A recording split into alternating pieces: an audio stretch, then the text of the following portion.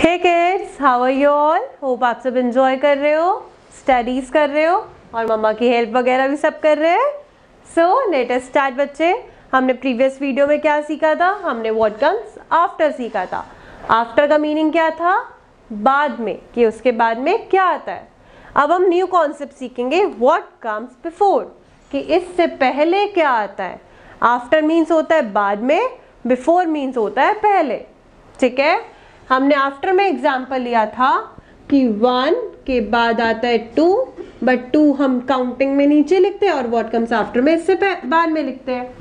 यही सीखा था। अब व्हाट कम्स बिफोर में क्या होता है बच्चे? हम टू की काउंटिंग में क्या करते हैं? टू के बाद थ्री लिखते हैं ना? और क्या करते हैं? व्हाट कम्स बिफोर में भी लिखते हैं। इस साइड ही है। मतलब क्या है? ऐसे ही लिखते हैं। बट आफ्टर में इस डिजिट के बाद लिखा था बिफोर में इस डिजिट से पहले लिखना है। क्लियर वन के बाद क्या आता है? टू हमें पता है। बट थ्री से पहले क्या आता है? ये भी तो जानना है ना? तो क्या है बच्चे? देखो। जब हम काउंटिंग लिखते हैं वन के नीचे आता है टू तो टू चला जाएगा साइड में। राइट साइड में। व्हाट कम्स आफ्टर आफ्टर का मीन्स होता है बाद में तो ये इसके बाद में लिखा जाएगा। बिफोर का मीन्स होता है उससे पहले। थ्री से पहले क्या आता है?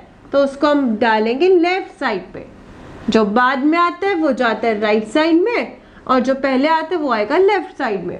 तो थ्री से पहले क्या आता है? टू अब टू हम यहाँ नहीं लिखेंगे। अब टू हम लिखेंगे थ्री से पहले।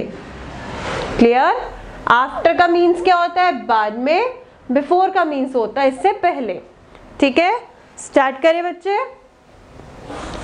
तो आप अपनी नोटबुक्स खोल लो। मैम के साथ साथ ही आप लोग नोट करोगे और मैम के साथ साथ ही करेंगे। ठीक है? तो व्हाट कम्स बिफोर में पहले मैम लाइंस ड्रॉ कर लेंगी। मैम आपको फाइव टू सिक्स एग्जाम्पल्स देंगी। ठीक है? स्टार्ट किससे करेंगे? सिंगल डिजिट से। सिंगल डिजिट में हम लेते हैं आज एग्ज़ाम्पल एट अब एट से पहले क्या आता है? हमें काउंटिंग सबको आती है। आती है ना? तो एट से पहले क्या आता है? वी ऑल नो सेवन आता है। तो एट से पहले सेवन आता ना? अब हम एट के बाद नहीं लिखेंगे एट से पहले ही लिखेंगे, क्योंकि हम क्या कर रहे हैं? वॉट कम्स बिफोर बिफोर का मीनिंग ही पहले होता है। कि इससे पहले वाला बताना है क्या होता है? इसके पहले क्या आता है? और लिखना भी इससे पहले ही होता है। क्लियर सिंगल डिजिट में हमने करा एग्ज़ाम्पल एट से पहले क्या आता है? सेवन डबल डिजिट में एग्ज़ाम्पल लेंगे। One two twelve. अब ट्वेल्व से पहले क्या आता है बच्चे? One one, eleven. क्या लिखेंगे हम? One one, eleven. समझ आया? ट्वेल्व से पहले क्या आता है? इलेवन। और इलेवन लिखेंगे कहाँ? ट्वेल्व से पहले। Clear next will take the example of three five thirty five अब थ्री फाइव थर्टी फाइव से पहले क्या आता है बच्चे? Three four thirty four. Counting आती है ना सबको? हमें ये भी पता है कि इसके बाद में क्या आता है और इससे पहले भी क्या आता है। Clear next will take the example of three digits अब हम एग्ज़ाम्पल लेंगे थ्री डिजिट्स का। लाइक टू हंड्रेड फाइव अब टू हंड्रेड फाइव से पहले क्या आता है? Two hundred four two hundred five से पहले क्या आता है बच्चे? टू हंड्रेड फोर क्लियर टेल है एक और एग्ज़ाम्पल लेंगे और उसके बाद एक और। ठीक है?